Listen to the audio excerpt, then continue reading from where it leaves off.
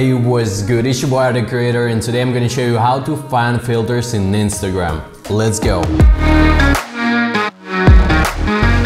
We have three ways to find a filter. Let's go to the first one. Okay, here's our beautiful Instagram. We are going to homepage and to our story. We need to scroll like that to the right and find this beautiful browse effects. Press on it. And here you have a lot of effects, filters divided by categories like love, color and light, camera styles, moods and much more. For example, let's go to the funny one. To try a filter, you just need to press on it like that. To try it on your camera, you just need to try it like that. Wow, hello, hello, hello, hello, hello. You can use it and to save it, you just need to go and open that and save effect, like that. Also, you can send it to any of your friends and copy effect link. Or you can go to creator account, like that.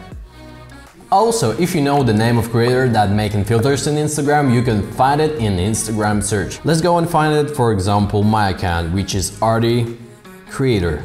Okay, press Arti Creator and here you can see filter section. Just press on it and here is my filters. To use my filter, you just need to press on like that. And again, try it or save it to your gallery with this beautiful button bomb and it's saved to camera. To find a filter you just saved on camera, you just need to go to the home page and open your story like that. And here you can see a lot of filters you have, like that. And also, for example, if you want to find some exact filter, you know the name of this filter, you can just search it like that. I made a filter for Migos, so I'm just gonna search Migos. And here you can see camera effects related to Migos. You just need to just scroll and choose whatever you like and for example this is my filter and to use it just press try. Also if you didn't say the filter you used you just can find it right here. Just scroll it and find the effect you just used like that.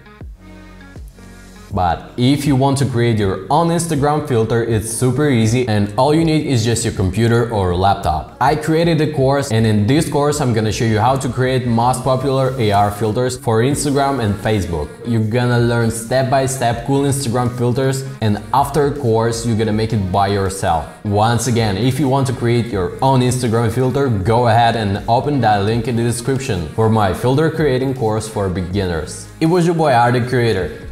Peace.